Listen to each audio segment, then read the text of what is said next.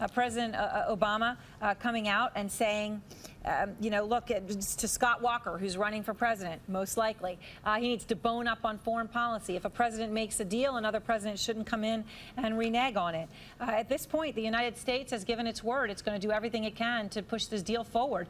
Why isn't that the right thing to do? Well, first of all, the deal is not uh, finished. And the deal, as we see it, is worse than the worst case scenario that we had anticipated. This is a bad deal that doesn't destroy one centrifuge, doesn't shut down one underground facility, and basically paves the way for Iran to acquire a nuclear weapon. But when they're uh, free, you know, they, they've got all their uh, economy up and running, it just doesn't make sense. And you know what? It's not too late to fix it. So one of the things to quote unquote fix it uh, that, that, that you have supported, that Prime Minister Benjamin Netanyahu has supported, is say that any deal with Iran must include Iran recognizing Israel's right to exist as a fundamental premise of the deal. President Obama says, forget about it. Here's exactly how he put it. The notion that we would condition Iran not getting nuclear weapons in a verifiable deal on uh, Iran recognizing Israel is really akin to saying that uh, we won't sign a deal unless uh, the nature of the Iranian regime completely transforms. And that is, I think, a fundamental misjudgment. Naftali, what do you say to that? Is Prime Minister Netanyahu fundamentally misjudging this situation, asking for something that is impossible uh, just for the sake of it?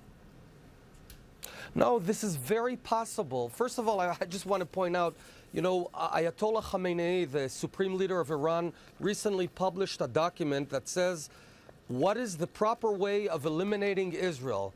This is the leader of Iran coming out with a document talking about eliminating and destroying Israel. And all we're asking is to, to do away with this. You can't go sign a deal with someone who explicitly says he wants to destroy us. Now, it is possible to achieve a good deal. Here's what you need to do. Just keep the sanctions. You don't need to change anything. Just wait.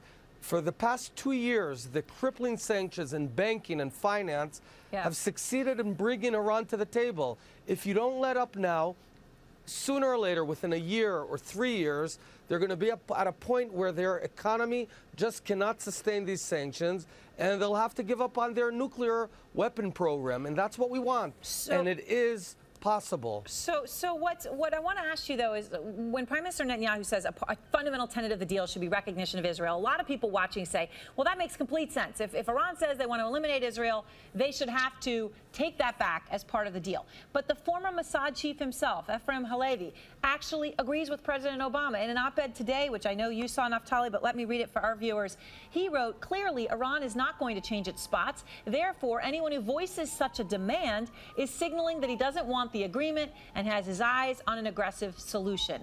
That's a pretty direct slap in the face to Prime Minister Netanyahu and to the point of view that you just uh, were explaining. I mean, that's the former chief of the Mossad saying asking for the recognition of Israel makes no sense. Yeah, I think uh, a Mossad leader uh, 15 years ago, uh, you know, right now we have a prime minister who is responsible for the security of the only Jewish state that we have. And we have to defend ourselves. You know, it's Passover now, and just a few days ago, all Jews read uh, a sentence, Bechol dor vador omdim aleinu lechalotenu. In every generation, there's someone who wants to annihilate the Jewish people. The Egyptians, ancient Egyptians and Greeks and Romans, Nazis, and now it's Iran who explicitly wants to eliminate us. We will persevere. We will win, but here's what we need to do to avoid a war.